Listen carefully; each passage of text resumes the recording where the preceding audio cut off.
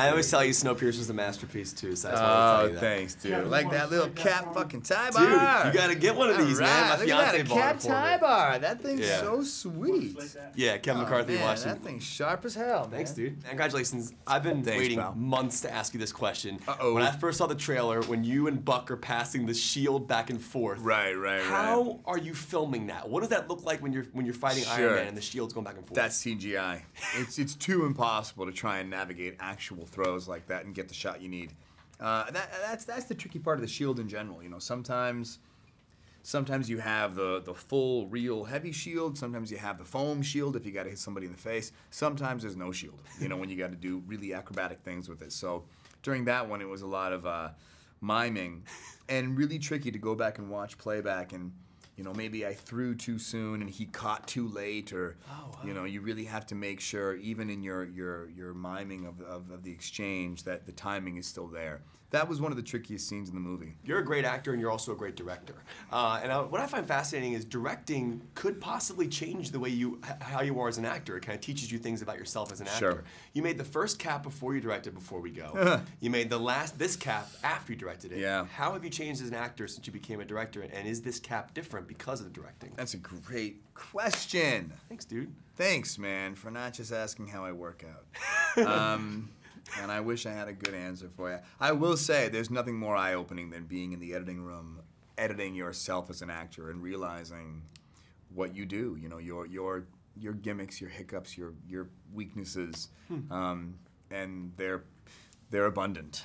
uh, and, and so going into this one, especially coming off of directing, you really try and uh, shed as many uh, what I found as an actor, what I did is you protect yourself a lot. You really do a lot of things of, uh, you know, you, you use as many takes as you can, doing what you think is the most safe interpretation of the dialogue, as opposed to taking risks and saying, you know what, because it's it's we're on we're on the time we're on the clock. You know, we we, we only have a certain amount of time. Um, but but taking those risks and being more uh, adventurous with your performance is where the best stuff comes from. So on this one, I think I tried to be a little more free in terms of how I was gonna approach the character. That's awesome. Now in the trailer, when we see that moment, this is not a spoiler, where Iron Man goes Underoos, and then he, uh, Spidey grabs the Yeah. shield. Yeah. How does that look when you're shooting it? Because obviously we see the shield in your hand. It gets grabbed. It gets taken up. Your hands get taken by the webs. Yeah. How does that look? Is, is Tom there when you're shooting that? No, that one shot of that happening, I'm literally exactly as I am now and doing this, and just you know, it's all you, you're faking it, you're, you're miming it because that's all post. Obviously, no one's shooting webs, and obviously Yeah. they couldn't actually mime someone taking the shield off my wrist. So uh, a lot of it is kind of having to mimic how, how those actions would go. What has Cap taught you about yourself that you didn't know going in? Now, he, it's interesting because the character has, a lot of conflict. He's internally struggling. Sure. He's externally struggling. Sure. What has he taught you about yourself that you didn't know as an actor and a person? Sure. Uh, it's it's nice to it's nice to when you do these interviews with people and they say you know we what people respond to as a result of Cap, what what people feel about him, and and you see how much how people are so touched by someone who is selfless, and how, how touched people are by someone who uh, just wants to do the right thing with, with no praise, no agenda, no no ego involved. Um, it, it really is inspiring to leave and kind of say that really does have an impact. This isn't just a hypothetical that if I'm a good man, people will. It, it, it it's in all of our nature to be good. It is. I believe that. Um, and and it's, it's nice to kind of have these interviews and do these press tours where people say the parts of Cap they respond to were his his intrinsic quality of, of morality and values, and it makes you go home at night and really aspire to, to kind of look at yourself and try and be the best person you can be because that that's that's what has the most positive ripple effect in this world. That's awesome. Thank you for Snowpiercer. You're Hey, awesome at life. That, now, I have to ask, obviously, one of the greatest moments in the movie is the running moment towards each other. And I, I know there's CGI there, but how many times are you guys doing the run? Like, how, uh, do you guys do that multiple times? To, all day. There was literally a day where we were just running. But also, was- like August, Atlanta, Georgia isn't Yeah. necessarily conducive to that sort of running. ex- I a- mean, at all. Germany would- was better. Yeah, people were out of breath. I think Paul Rudd had that mask on Oh. the whole time. Did he really? Yeah. But it wasn't Paul. His stuntman did a lot of that. Fucking Paul Rudd. He's not. He's not fuck him. Fuck you. No, no. The flying of Falcon blows my mind. And I, when I talked to you for Winter Soldier, you were explaining to me how that was done. How has the flying changed since then? Has the effects gotten different? Do, do you do it differently now in this film? No, I do it much uh, less. Uh, I realize I have a really good stunt man, and it hurts. And, and when, we, when we see you land though from a fly, and That's then, me. And then the, the, the wings come back in. Yeah, yeah, how, yeah. how, does, how are they doing that? Uh, I, they put me on a string and literally take me about 15 feet off the ground, and I go from here to landing, and then they CGI all the wings and all that other stuff. Now the motorcycle sequences blew my mind. And Black Panther, that whole sequence when he's running and you guys are on that cycle. But you have a sequence where you grab a dude off the motorcycle. Right. That Yeah. blew, talk about that moment, like in shooting that scene. That was mind blowing. Uh, you know, I they had me come in at um, at the very end of the sequence and just grab the bike.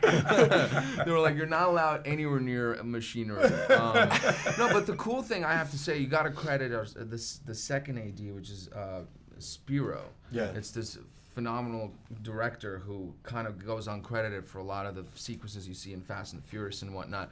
And he has this trick he came up with, which is like kind of. Um, Like a slide. yeah, Like it's a magic carpet he calls it, right? And you're and you're basically there's a car dragging this sheet, sort of like an escalator, right? And so you're running on that, and it looks like you're running three times as fast. You just and I was like, oh, so if if I need to, I'll just hop off. And he's like, do not do that.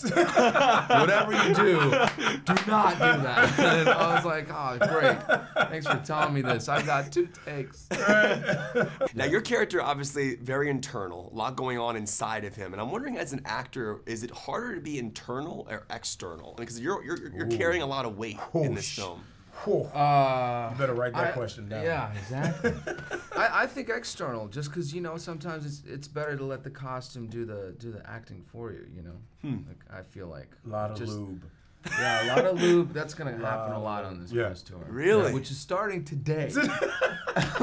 Like, some of the sequences in the MCU have blown my mind over the years. Obviously, Whedon's one shot in Avengers when it went through all the guys, and then uh, and uh, the Avengers, and then you had the uh, epic like leaping shot in Ultron. Your bridge sequence in Winter Soldier. The sequence when they're all running towards each other in this film. How are you filming that? Who is really there? What's digital? How are you doing that moment? It's an epic moment. Well, you know, a, a lot of the a lot of the actors are there, a lot of the stunt players are there, but there are also a lot of digital characters in the film as well. Uh, and uh, you know, our we our, our effects team, uh, uh, who we couldn't do this movie without, is so good that I think that you'll have a hard time telling who's digital and who isn't, which might be why you're asking the question. Yeah. Uh, it's it was something that you know took a lot of thought and a lot of effort from a bunch of different departments on the movie. Uh, it's something that you know we knew that was going to be for us the highlight of the film. Uh, just as a kid collecting you know crossover comic books where there are a bunch of characters in them, it was always about opening up to the middle page. And, and seeing every character fighting each other and just imagining what was going on and uh, and that's what we wanted to create with that sequence was our own splash panels as it's called in the comics. Now, I'm a big fan of IMAX shots. I love like what Nolan did with Dark Knight, where it would jump up and down. And you shot some sequences in this film with IMAX camera. Now, i have not seen the film in IMAX. Can I ask what scenes are jumping to the full IMAX uh, scenes? It, it was the you know the big scene that Joe referred to as the splash panel or the airport scene. You can call it. It's the scene where all the superheroes fight each other. That that sequence we figured deserved that scope and that scale of of, uh, of frame. You know, we also have a lot of characters that fly in that sequence. There's a lot of vertical movement in that sequence, and the and the sort of the, the added dimension in the in the IMAX frame really helps us sell the action in in that in, on that axis. Is that whole scene going to be in IMAX? The whole scene is in IMAX. Yeah. I, can, I- can we go watch it right now together? I need to see that again. 17 minutes. I would watch that on a loop and Yeah. pay twenty dollars for three hours Yeah. just to watch that scene on a loop. Um, I have to ask you, Henry Jackman's score is brilliant, and I'm wondering, um, you have so many characters in the film. How many themes does he give you? Does each person get a theme, and how do you how do you direct him to have the arcs and give the emotional pieces of their? It's a great Well, question. Yeah, I think I mean it was interesting with Henry because it, you because there are so many characters in the movie. and it's it's a very complex story. The, the the risk is getting lost. Like you can't chase all of those ideas. Right. So Henry had to work very hard on a musical level to figure out how does he sort of bring these things together in a way that like gives the movie a cohesion where you're not sort of shooting off in, in a hundred directions at any given moment. Mm-hmm. And Henry did it extremely elegantly. He found several key themes to use throughout the movie that really play to the storytelling uh, and the character, some of the characters, but not getting lost in it. Yeah. How do you do the scene when the shield's going back and forth between Bucky and Cap when they're fighting Iron Man? Because that shot in the trailer, it blows my mind. How is that happening? Like, what's happening? Uh, you know, It's that's tough, Evans yeah. and Sebastian actually learned the entire sequence. I think we shot it about eight or nine times. uh, uh, we did eight or nine takes of it, and we actually came up with that about four hours before we shot it. So it was just one of those things where we are working on the final fight, and we've just had a feeling that we needed uh, a moment, a team up moment from the two of them. Uh, and uh, and you know our stunt department uh, and, and our camera department, we all got together and said, Let, let's figure this out. But it's a very, I mean, it was a very difficult shot. I mean, that, it took us a while to get it right, like Joe was saying, but it was also exhausting the actors, as you can imagine. We had to give them a, we had to give them a good recovery period before we could do another take every time. It was interesting. Guys, thank you for everything. You guys Thank are you. phenomenal filmmakers. Thanks for a great story. Such a pleasure. And for Vision's makeup, I, I, I, I spoke to you at Age of Ultron. It's partially CGI, but also there's partially real makeup on your face. How much of it is actually really on you? Uh, it's all real except for the lines that you know the, the the sort of circuitry of the costume continues onto the makeup, and that that is that is done in post. But I am spending my days purple. That's Yes. amazing. Now I'm from DC, you went to Howard University, which is amazing. I want to ask you just about like your journey from Howard to now. Uh, you know what? You know what was more interesting is um, I'm really proud that the that one of the writers of the the the new Black Panther issues is from Howard. Uh, Ta-Nehisi Coates um, is is writing the new Black Panther issues, uh, which just started um, a couple days ago, the March issue. So there's a whole new series. So I'm proud of those connections. Um, uh, but as far as my path from Howard, that's too long to even to even say. But the fact that Black Panther is Howard on the page and also Howard on the screen, um, I think it's a proud moment. Have you met with Ryan Coogler yet? Have you guys already started working on the standalone movie and what what what what has been done so far? Yeah, we we're working on it. I can't. I wait. can't tell you. I can't wait to see it, man.